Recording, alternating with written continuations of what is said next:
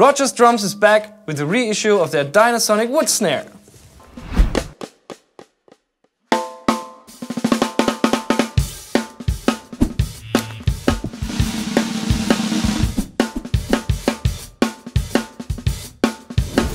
Hey, what's up everybody? It's Simon here.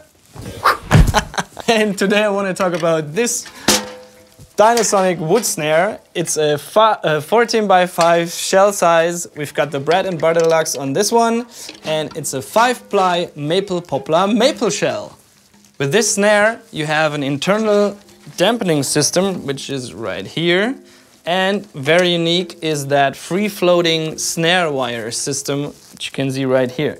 So they put the snare wires into that aluminum frame, and with that aluminum frame, you get the pressure of the snare wires onto the reso head uh, distributed very evenly, which sounds, when you play the snare with the snare wires on, sounds very smooth and even when you play the snare very soft you still have a lot of tone because the snare wires are free floating and still have that snare wire sizzling. Or even when I turn it a little bit looser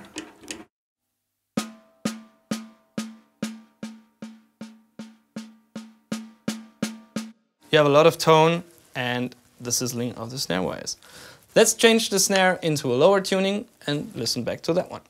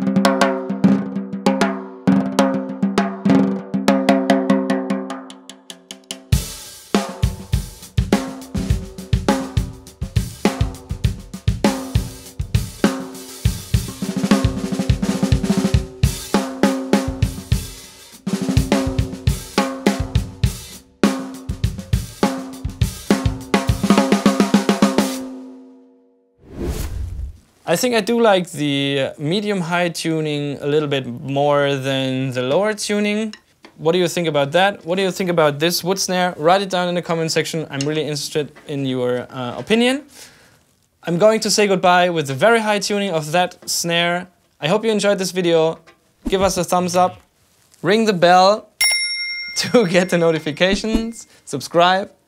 Find all the details about that snare in the video description down below and I see you in another video. Simon out.